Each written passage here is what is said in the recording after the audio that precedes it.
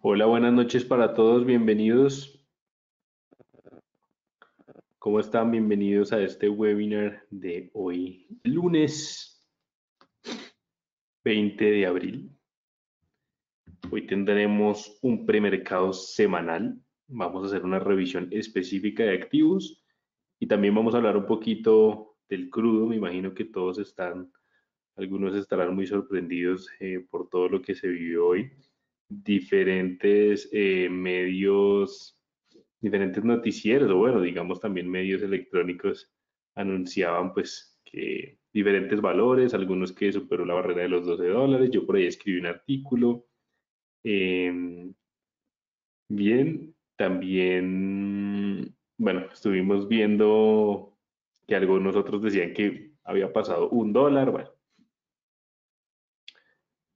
Por acá un saludo a Diego, claro que sí, Diego, con mucho gusto. Buenas noches, Hendrix. Buenas noches, Álvaro. Facundo, ¿cómo vas?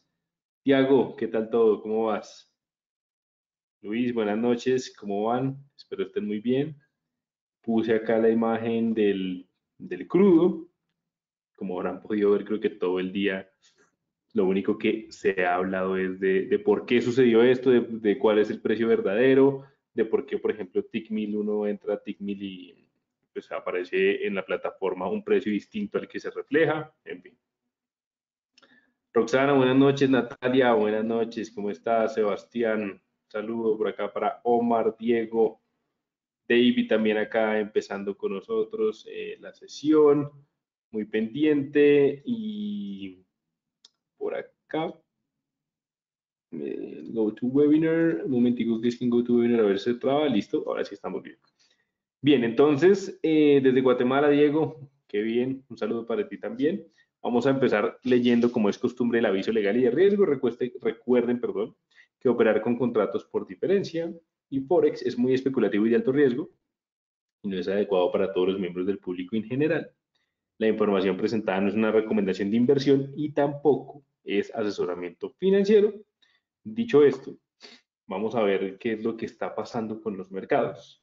Quiero que empecemos con el petróleo. Generalmente siempre empezamos con divisas euro-dólar, pero pues debido a la, situación, eh, vamos a ver qué pasó. Entonces, por acá Álvaro nos dice que hay mucho stock de, crudo porque son índices de futuros. Los contratos del crudo de abril expiran mañana, por eso cayó mucho hoy. Mañana va a rebotar. Bien, pues em, no sé qué tanto vaya a rebotar. Claramente, dependiendo de la plataforma, el precio va a ser distinto. Si ustedes entran a, por ejemplo, a la bolsa de Chicago, a la CME, y miran la cotización del contrato efectivamente de abril o incluso de mayo, pues van a ver una cotización que superó la barrera de los 0 dólares. O sea, el crudo terminó en negativo. Si nos vamos a TICMIL, tenemos acá el, crudo de referencia WTI, tenemos una cotización que está rondando los 12 dólares el barril. ¿Cuál es la diferencia? Pues que TICMIL cotiza con varios estimados de los contratos de futuros. Recordemos que se puede cotizar sobre el activo spot y sobre el activo futuro. Como cotizamos en futuro, no solamente tomamos en cuenta el contrato de abril, sino también el de mayo y junio, y con base en esos tres contratos se realiza un promedio. En mi opinión, el precio más cercano real del crudo en este momento es el que nos está mostrando 12 dólares el barril. Hola Mauro, buenas noches. saludos también para Juan David. Johnny nos dice, em, el contrato actual es de 5.20, el contrato abril termina 4.20 y hay un contrato nuevo 6.20. ¿Cuál es el contrato? Vale, pues depende, Johnny. Si tú estás negociando en futuros, deberías, yo te recomendaría negociar el contrato que vence el 19 de mayo.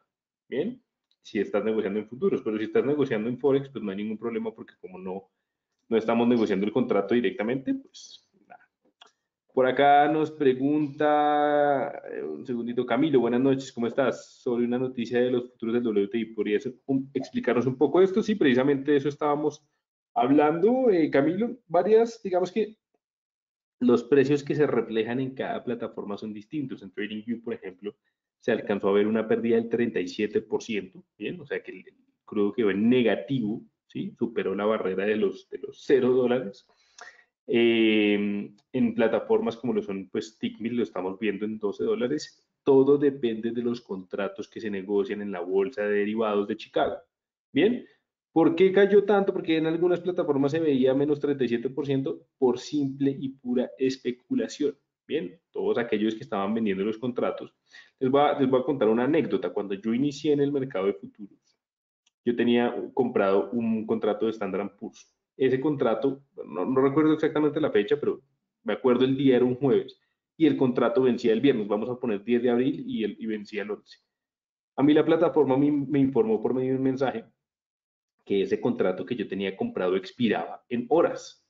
Recordemos lo siguiente, hay dos estilos de negociación. Está el trading de coberturas y está el trading de especulación. ¿Cuál es la diferencia? Pues que en las coberturas se utiliza mucho, eh, sobre todo en bolsa de derivados, que aquellos productores que se quieren cubrir por fluctuaciones del precio entran a negociar no para ganar, simplemente para cubrirse, por eso se llama hedging, cobertura. Y en la especulación, que es donde entramos nosotros, digamos, negociamos los contratos futuros o negociamos activos OTC y decimos, bueno, el crudo está en tanto, va a subir, yo compro y lo vendo más alto o vendo y lo compro más barato, esa es la especulación. Cuando uno compra contratos futuros, esos contratos tienen una fecha de vencimiento, generalmente son tres meses dependiendo del activo. Bien, si yo por ejemplo los compro en mayo, pues generalmente vencerían en julio o en agosto. Son tres meses la fecha de vencimiento y se van renovando. Por eso, cuando ustedes entran a, a una gráfica de futuros, no tienen información del precio muy amplia.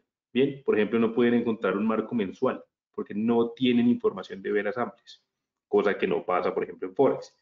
Si ustedes compran el contrato, por ejemplo, aquellos que estaban comprando contratos de crudo, porque seguramente, o bueno, en el transcurso del mes hubo muchos, eh, muchas personas negociando, pues necesitan venderlo porque si no estarían comprando el barril en físico y tendrían que poner una dirección de entrega donde llegaría el barril claramente el barril no les va a llegar aunque el, contrato quedara, digamos, activo. Eso no podría suceder porque pues, para eso se establece una dirección de entrega y, bueno, ¿a dónde le van a entregar un barril de petróleo? Eso no va a pasar. Pero sí se incurriría en algo grave. La verdad no sé qué podría pasar, pero sé que sería muy grave y tendría, digamos, consecuencias con la bolsa de valores directamente. En este caso, pues la CMX con la que se negocian futuros. Eso es un problema. Entonces, aquellos que tenían los contratos empezaron a venderlos y recordemos nuevamente el tema de la liquidez. Lo que va cayendo, va vendiendo, la gente está vendiendo, vendiendo, vendiendo. ¿Quién quiere comprar? Si no hay compradores en el mercado, si no existen, el precio lo que puede hacer es seguir cayendo y la gente se queda con los contratos. Bien, eso es un tema muy, pero muy delicado. Y eso fue lo que hizo que en algunas plataformas el contrato de abril se haya visto reflejado por debajo de cero. Ahora bien, el valor real, claro, el crudo sí tuvo una bajada por simple oferta y demanda, oferta y demanda leyes económicas de mercado, pero esa bajada, digamos que está cotizando entre un promedio de 10 a 20 dólares, dependiendo del contrato que se esté analizando. 10 dólares para el contrato de mayo, 20 dólares para el contrato de julio. Otros brokers creo que están utilizando directamente el de julio que ronda las 20 horas. Así es, Tiago, muchos brokers lo utilizan. Jordan, saludos. Eh, australiano, claro que sí, Excel, me encanta el australiano, precisamente lo íbamos a ver. Australiano Yen, claro que sí. Déjame un momento, entramos a la revisión de divisas y ya, ya revisamos los activos, ¿listo? Eh, Sebas, más allá de que somos analistas técnicos, ¿qué se supone que pasó con el petróleo que cayó así? Bueno, Facundo, acabo de explicarlo, ¿vale? Me imagino hiciste la pregunta antes de que lo haya explicado, pero claramente es un tema de pura y simple, o sea, aquí no es OPEP, aquí no es absolutamente nada de eso, es simple especulación. Aquellos participantes de mercado, los especuladores que estaban en el mercado vendiendo contratos, no habían compradores y el activo. Eso pasa, por ejemplo, en una empresa. Supongamos que yo el día de mañana creé una empresa que en un año empezó a cotizar en bolsa y se llama Sebastián Hernández. Bien, la empresa se llama como yo. Y yo la puse en bolsa y empezó a subir, digamos, salió a 5 dólares la acción, compraron, el primer año me fue muy bien, el segundo año me cogió una recesión tipo COVID-19, o bueno, otra, cualquier tipo de recesión económica, y los que tenían compradas mis acciones de Sebastián Hernández empezaron a venderlas, ¿bien? Empezaron a decir, bueno, yo ya quiero salirme de acá, algunos con ganancia y otros cerrando con pérdida. Eso hace que directamente la acción se empiece a caer. Entonces de 5 dólares pasó a 4, 3, 2, 1 y cuando llega a 0 ya no hay liquidez. Entonces no pueden aparecer compradores y ahí es donde llegan las quiebras financieras. ¿Por qué? Porque ¿quién asume directamente ese, ese riesgo? El broker. Por eso se le dice al participante de mercado, por favor, y por eso leemos el, el aviso legal y de riesgo, las pérdidas pueden superar su depósito inicial. Es así de sencillo. Yo le puedo quedar debiendo plata al broker. Recuerdo mucho en mi primer curso de trading, por el curso que conocí el trading, decían, no se preocupen, si ustedes pierden, nunca le van a quedar debiendo dinero al broker. Eso es mentira. Ahora, si ustedes están negociando futuros, ustedes firman un, cada contrato, lleva su firma lleva su nombre. Bien, por eso tienen una plataforma con un nombre de usuario y demás. Si la persona es irresponsable y ese contrato, por ejemplo, llegase a valer menos de cero y su cuenta no lo puede aceptar, pues estarían en obligación legal de recurrir a sus bienes, ¿bien? hacer embargos. No lo digo para asustarlo, simplemente porque cuando uno entra al mercado, mucha gente lo toma como un tema de juego de azar, bien, que yo puedo comprar y vender. Eso se puede si tengo una cuenta de... Pero así tengo una cuenta de 100 dólares, si uno es irresponsable, puede llegar a terminar en negativo. ¿Listo? Pues Luis, digamos que no está afectando bastante. Yo creo que uno lo puede ver directamente en activos como el dólar. Pues el dólar se ha mantenido completamente normal, no hubo volatilidad debido, vuelvo y lo repito, a que no fue un tema fundamental político o fundamental económico, sino simple especulación con base en el petróleo, referencia doble. Lo que decían anteriormente es muy cierto. Mañana, pues ya el, mañana ya se vence la fecha del contrato, entonces el precio que veamos mañana va a mostrar información mucho más real. Ahora, no esperen que haya un rebote muy grande. El, el crudo sí cayó efectivamente. Sí, así es, Cristian. Más de uno debe estar endeudado con el broker. Exactamente. Luis, claro, el broker las liquida, pero recuerda que el broker tiene un banco. Todos los brokers a menos de que sean creadores de mercado market maker, tienen un, banco que se llama el dealer bank, que es quien ejecuta las operaciones. Si no hay compradores, pues el broker no va a asumir la pérdida por ti. ¿Listo? O sea, a menos de que fuera tan, tan benévolo decirte, no, tranquilo, no te preocupes. Yo asumo, yo soy tu contrapartida y, listo, no te preocupes que yo me quedo con el contrato. Si no pasa en un mercado como lo es eh, Futuros, que tiene una cámara de compensación, donde es un organismo gubernamental, pues no va a pasar tampoco en un mercado OTC. Por eso, muchachos, recuerden, siempre hay que tener cuidado cuando uno está negociando, poner stop loss, tomar las precauciones, no sobreapalancarse, ¿bien? Porque eso puede... Supongamos que listo, digamos que yo le quedé viendo 100 dólares al broker. ¿Qué pasa? Pues que yo entro en una lista negra de, mire, este personaje, por favor, no le vuelvan a abrir una cuenta real nunca más en la vida. creo que tenemos suficiente con el COVID y ya nada más afecta al mercado. Bueno, sí, eh, así es, David. Bueno, listo.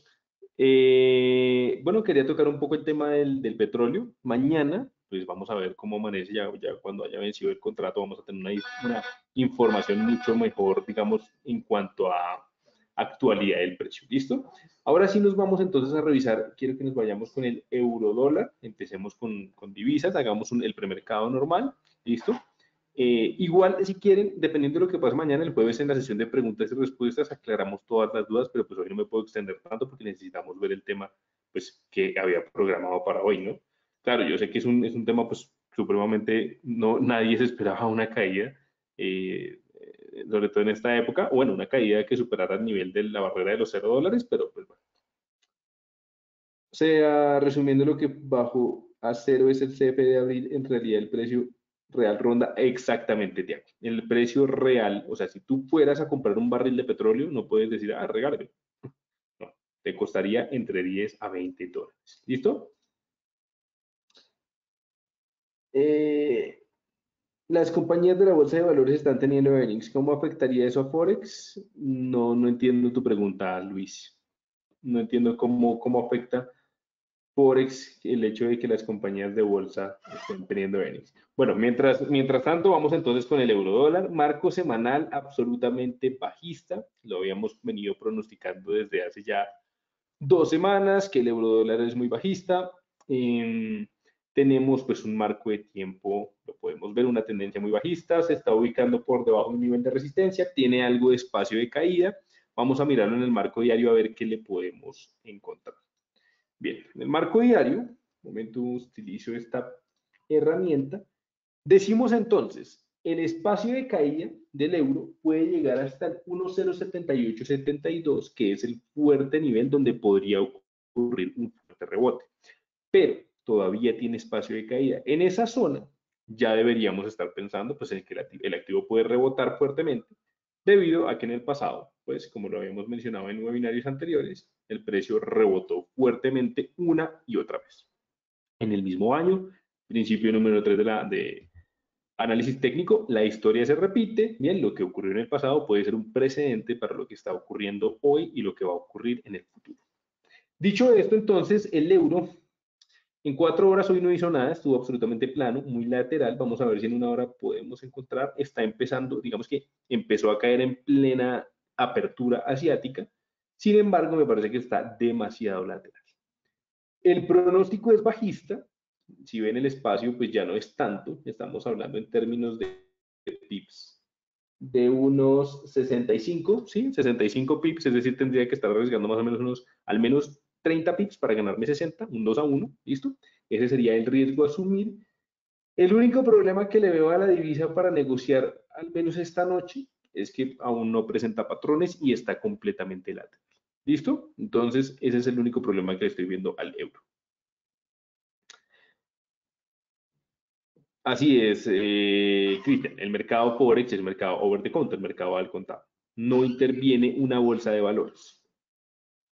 Australiano, claro que sí, vale. Déjame, ya vamos al australiano, que incluso tengo una hipótesis en australiano. Vamos entonces con la libra y ya ahorita este y nos vamos con australiano y lo revisamos bien en detalle.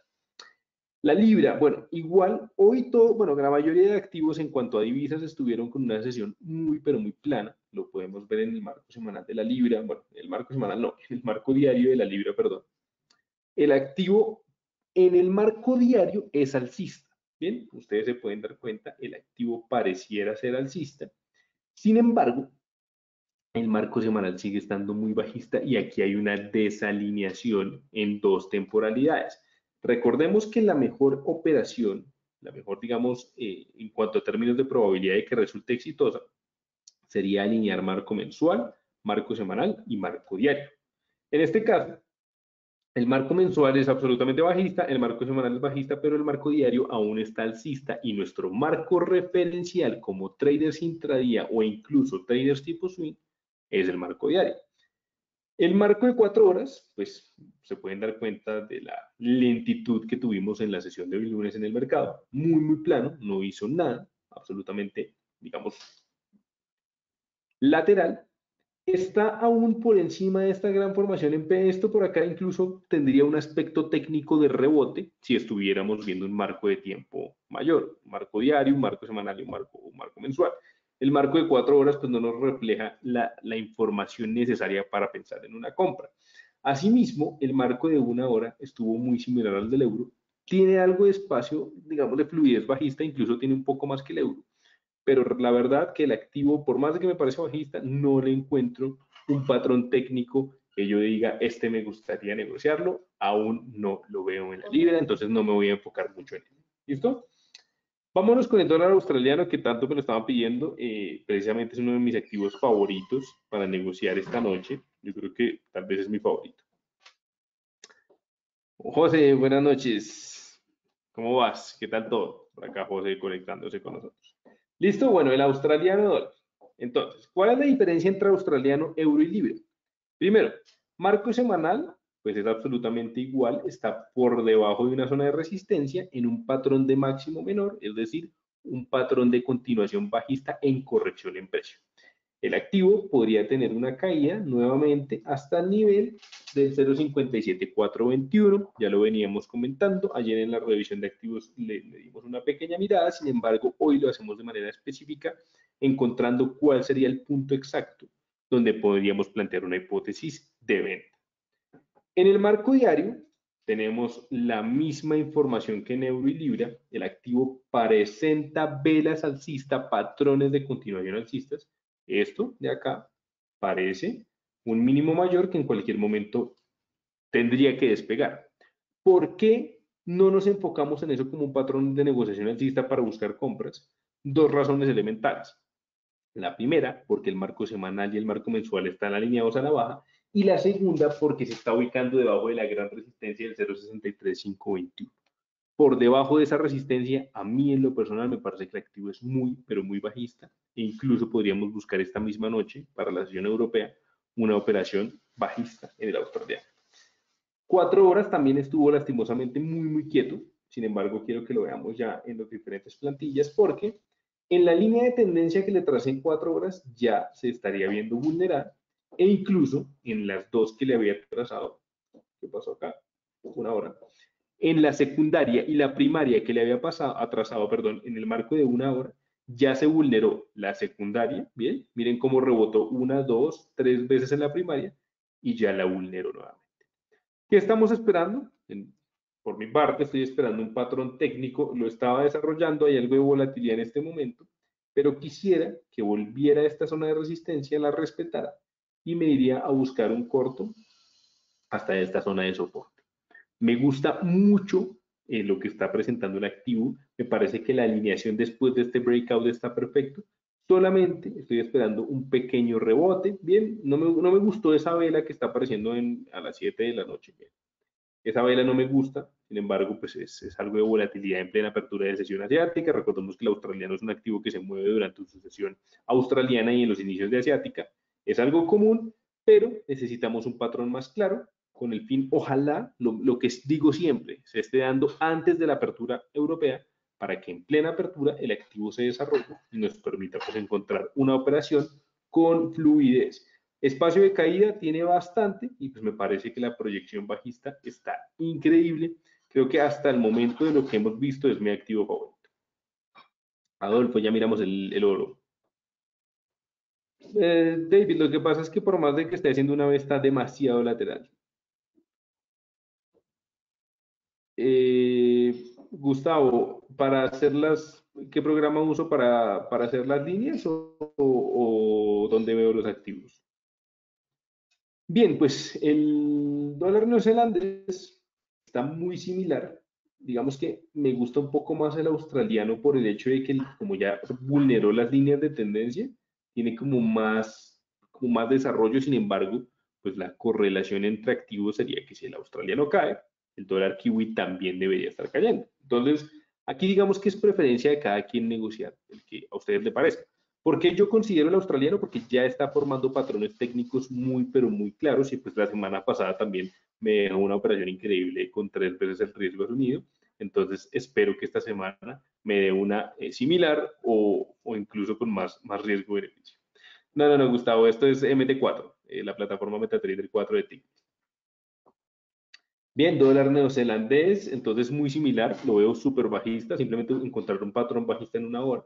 El canadiense, ayer entonces, en, el, en la revisión general de activos, donde les comento, digamos, los activos más eh, interesantes para la sesión, mencionamos el dólar canadiense, dijimos que es muy alcista debido a la alineación entre temporalidad semanal, temporalidad diaria, a la ruptura de línea de tendencia en el 4. En estos momentos el activo pareciera que ya quiere desarrollar de cuatro horas sin embargo, está apareciendo algo de volatilidad precisamente por la sesión. Y aquí es donde quiero aclararles y reforzarles el, tema de que no puedo operar en todas las sesiones. Si yo estuviera negociando ya mismo el canadiense, probablemente me tocara el stop loss en una compra.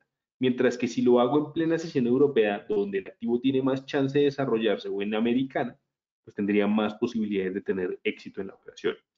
Es muy importante que negocien según el tipo de activo. Si estuviéramos viendo dólar americano contra yen japonés, que estamos en sucesión asiática en la apertura de la bolsa de Tokio, pues no habría ningún problema, pero pues ahorita ni, ni Canadá ni Estados Unidos están abiertos. ¿Listo?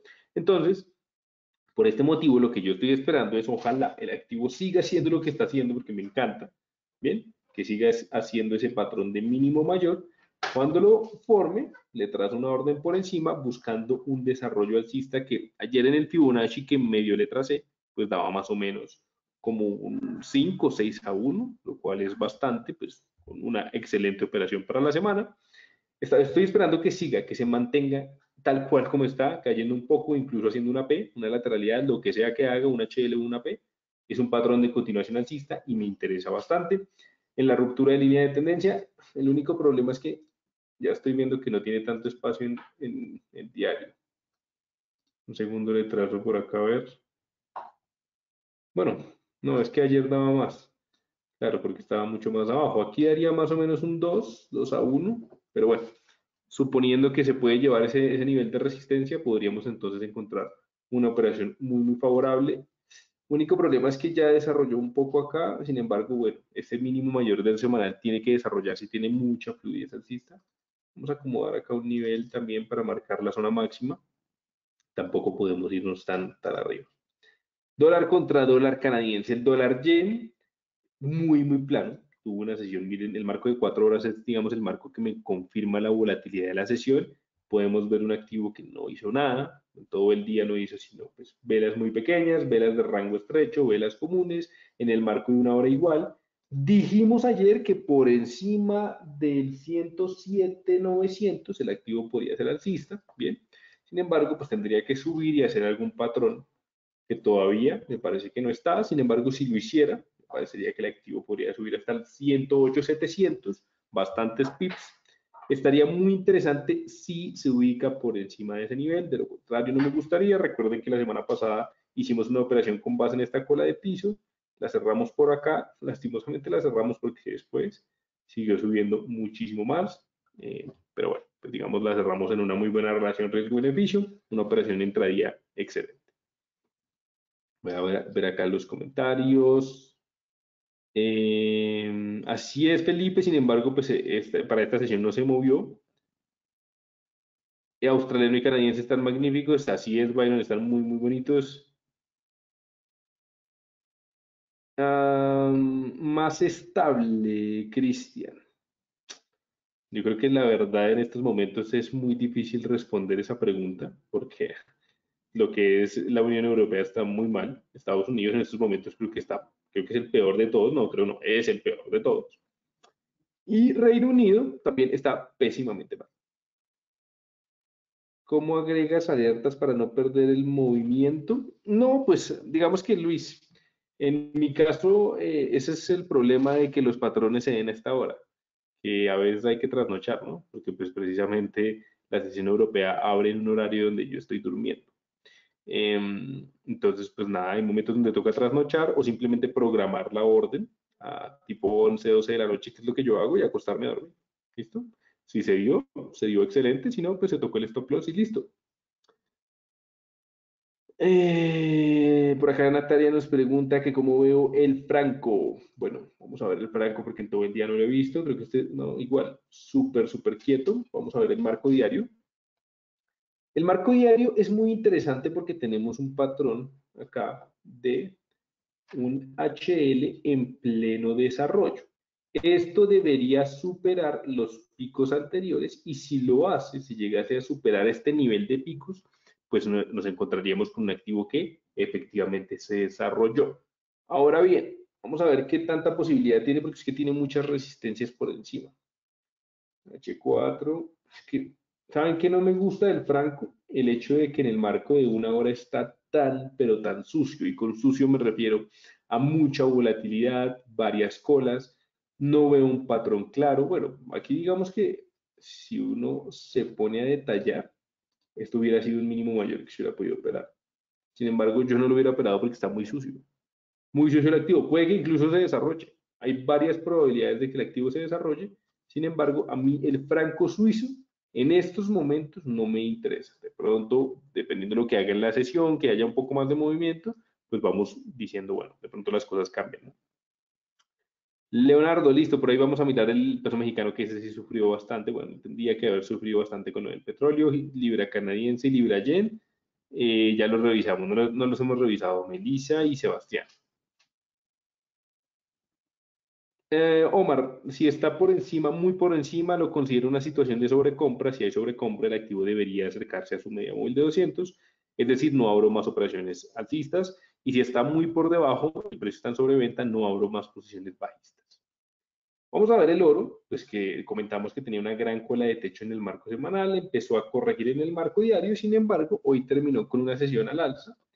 Bien, miren, precisamente la media móvil, para quien te estaba preguntando, este alejamiento ya me constituye una zona de sobrecompra. Ya el activo está demasiado alejado de su promedio móvil simple y en cualquier momento debería estar corrigiendo, ya sea en tiempo o en precio. Hay dos tipos de correcciones, cuando el activo entra en una lateralidad o cuando el activo empieza a caer en precio, a buscar su media móvil de 200. ¿Cuál es la más rápida? Cuando corrige en precio, porque pues, es el activo el que se desborda hasta encontrarlo. Vamos a ver qué tenemos para el oro. Marco de cuatro horas todavía también hay mucha sobrecompra. Miren el, pues, la distancia entre la SMA y el nivel de precio. Yo no sé, digamos que la cola de techo del semanal me gusta mucho para pensar en un contratendencia sin embargo, creo que es muy riesgoso por el hecho de que pues, el activo aún está muy fuerte al alza, está muy, muy fuerte. Yo esperaría, la verdad quisiera ver un poco más de debilidad, una señal más clara en el marco diario. Porque claro, en el marco semanal tenemos un gran patrón, pero es que alinear un marco semanal con un marco intradía como una hora es ya demasiada anticipación. O sea, me salto uno, dos, tres marcos de tiempo y pues la operación me puede salir negativa. Sí creo que debería estar corrigiendo, pero no me aventuraría a buscar una orden. ¿Listo? Australiano canadiense, por acá tengo una pregunta, ¿tú no haces entradas si no miras algún patrón? Eh, no entiendo, Abel. Hola, Carol, buenas noches. Muchas gracias a ti por tus comentarios australiano canadiense, bueno, ya que me están nombrando tanto australiano canadiense, vamos a ver qué es lo que está pasando con el australiano canadiense, porque yo no lo he revisado, pero ya me han dicho bastante. A ver, me imagino que ya sé qué es lo que está pasando en el marco diario. Sí, claro, espérenme un segundo porque es que no le tengo trazada la, la media móvil. Entonces, eh, moving average, 200, a ver qué está pasando. Claro, tuvo un fuerte rebote en H4.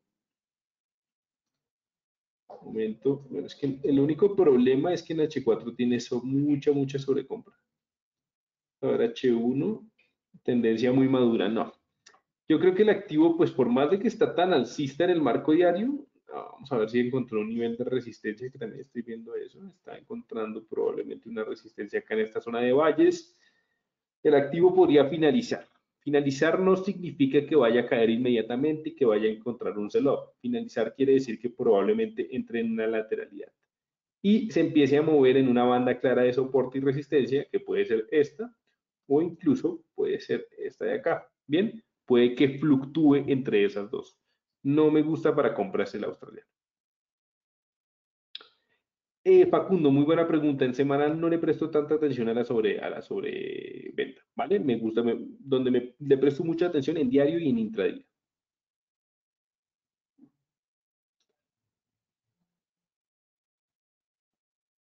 Ah, ok, Natalia, si, si es así, no, exactamente, no entro a operar muy pocas veces, em, la verdad, muy pocas veces lo hago entrar a mercado, pero pues es cuando, cuando ya siento que se me pasó un patrón, listo, como que se, me olvidó operarlo, no tuve el tiempo, y pues ya entonces me toca entrar al mercado, pero trato de no hacerlo, ¿listo?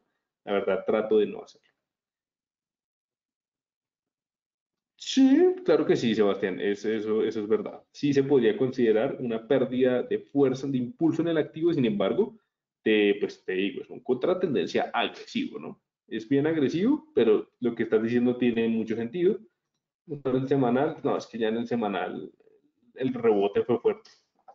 Pero sí, debería, debería estar corrigiendo un poco. Bueno, pues en petróleo, creo que en estos momentos nadie lo, bueno, aunque nadie no, me llamaba mucha gente como, no, quiero invertir en petróleo y cómo hago para invertir en petróleo. Yo no creo que sea el momento de invertir aún en petróleo. Recordemos que necesitamos tratar de adivinar el piso del activo, no es algo que funcione. Bien, esta crisis no sabemos cuánto vaya a durar y mientras dure, pues el petróleo puede seguir. Aquí en los futuros está todavía cotizando a 12 dólares. No ha caído en los contratos a cero. ¿Listo? Leonardo, pues me parece muy bien. Yo estoy esperando el patrón. Em, pregunta, para entrar estaría bien buscar patrones de chartismo y velas. Excelente, es lo que yo uso. Así es, Natalia. Australiano yen, listo. Además, si suponemos que el australiano es bajista, vemos que el australiano está débil, no deberíamos operar al alza un instrumento que consideramos débil. Muy buena, muy buena mm, consideración y, correlación, Tiago. Dólar yen, Ángel, pues el dólar yen decíamos que es alcista, pero necesita una ruptura en una hora. ¿Y quién me pide australiano yen? Venga, miramos el australiano yen a ver qué está haciendo. Australiano yen creo que lo vimos la semana pasada y estaba interesante. Semanal es súper bajista. Diario está muy similar al australiano. H4. H1, pues está muy similar al australiano dólar. Muy, muy similar. Sin embargo, pues vamos a ver. Ya me le trazo acá los, los respectivos resistencias y soportes. A ver qué tanto sí también tiene muy buen espacio.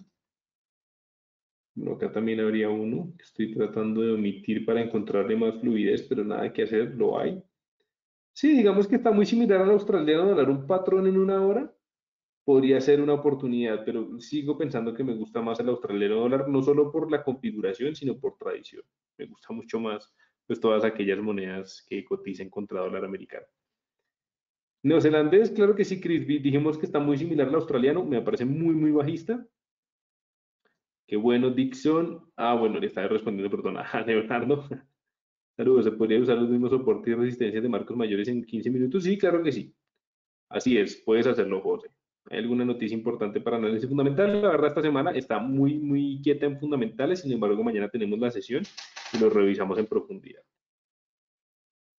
Sí, totalmente, Bayro. Precisamente para allá nos íbamos a ir, nos íbamos a ir para los índices. Vamos a ver qué está pasando con los índices. Esta mañana, pues los futuros estaban abriendo en rojo. Después tuvieron una recuperación en plena apertura. ¿Listo? Los futuros, pues, del Standard Poor's 500. Diego, ya nos vamos para el DAX. ¿Listo? Acabamos con los americanos y nos vamos al DAX 30. Que este tal vez es el que más me gusta porque tiene una configuración excelente. Sin embargo, pues, ¿por qué aún no he planteado la negociación? Porque la línea de tendencia en H4 sigue estando muy bullish y todavía no he visto la debilidad absoluta que me confirme que en términos de probabilidad del activo va a dar un revés. Bien, al menos hablando del Standard Poor's. Vamos a ver si el Dow, creo que el Dow estuvo más débil en la sesión.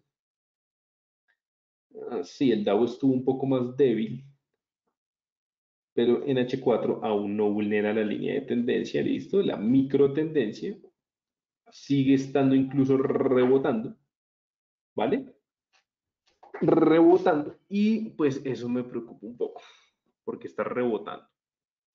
Vamos a ver que es, que, ¿saben que De los americanos, perdón, de los índices, el que más me interesa, el que más me llama la atención, es el DAX 30, pero necesito, necesito que rompa la línea de tendencia y el nivel de soporte del 10.406.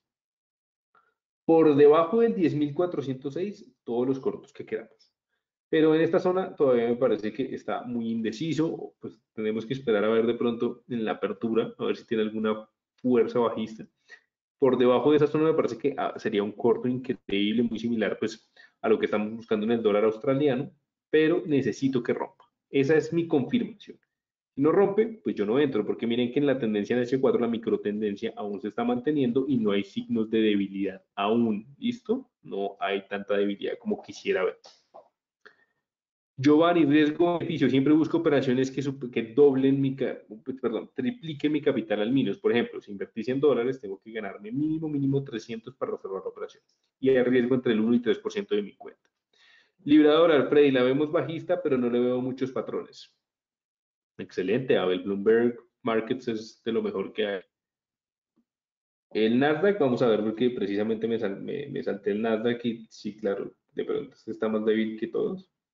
No, mentiras, el Nasdaq está... El Nasdaq, por el contrario, es el que, el que más fuerte está. Está muy, pero muy fuerte, pero bueno, acá encontró un doble techo. Este doble techo del Nasdaq me gusta. Este doble techo del Nasdaq me gusta, es un patrón de finalización, vamos a darle algo de zoom para verlo de mejor manera. Miren este doble techo, vamos a ver con el puntero cuando se dio ese primer retroceso. Ah, ok, fue este mismo año, en marzo. Me gusta, me gusta, me gusta. El problema es que H4 sobre compra, tracémosle la línea de tendencia acá. Bueno, es que no, porque es que si con línea de tendencia no nos da. Sin embargo, es que ese patrón del doble techo en el Nasdaq sí me interesa bastante, porque la única vez que yo negocié el Standard Poor's en, en una caída fue con un patrón de doble techo. El problema sería, bueno, la sobrecompra también ayuda bastante. Creo que el patrón ya estaría por debajo del 8690, más o menos un stop loss en esta zona, me parece que podría ser. Es arriesgado, claro, es, sigue siendo contratendencia, claro que sí, sigue siendo contratendencia, pero me parece que ayuda mucho el hecho de tanta sobrecompra y pues de que todas las mañanas los futuros están amaneciendo en rojo, probablemente el activo esté entrando en esa fase 3, etapa de lateralidad, para entrar en una etapa 4. Me parece que podría ser, la sobrecompra ayuda bastante, tal vez sí, tal vez desde los, de los tres americanos es el que más me llama la atención. Tiene buen espacio bajista, quiero medir ese espacio acá, a ver si es tanto como, como parece.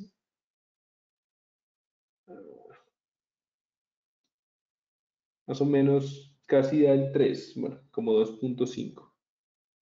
Bueno, sí, igual es, es, buen espacio, es buen espacio bajista lo que tiene el marco diario. Creo que podría ser, sin embargo, es algo peligroso, ¿no? Algo peligroso.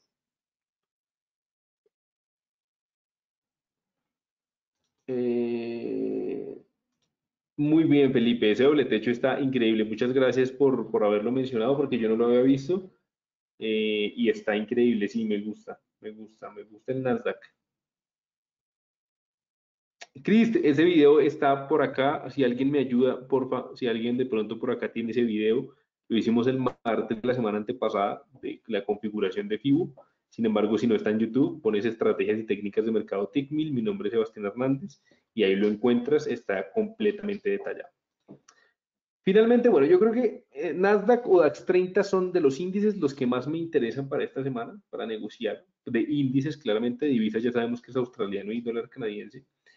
Y de los pares menores, por aquí me habían pedido Libra Yen antes de irme al canadiense Yen. Bueno, Libra Yen estuvo absolutamente plano. Miren el marco de cuatro horas, esa lentitud del mercado. Me parece que este activo es muy alcista, pero aún hasta que no empiece a romper esa lentitud con la que está, porque está demasiado lento. Entonces entrar en una operación en este momento, pues sería como dejarla dormir y dejarla dormir y pues no quiero eso. Es que. Ay, Dios mío. Es que no estuviera tan lento esa cola de piso, me permitiría plantearle una entrada así. Y es que es Libra Yen, esta sí se podría estar operando en esta sesión. Está en un fuerte nivel de soporte. Podría estar rebotando fuertemente y tiene un espacio increíble al alza son las operaciones. Por ejemplo, ahí no debería estar entrando. Si yo eh, fuera a ejecutar la operación, no debería estar haciéndola porque pues no tengo patrón aparte de una cola de piso, pero es que ah, me está llamando la atención.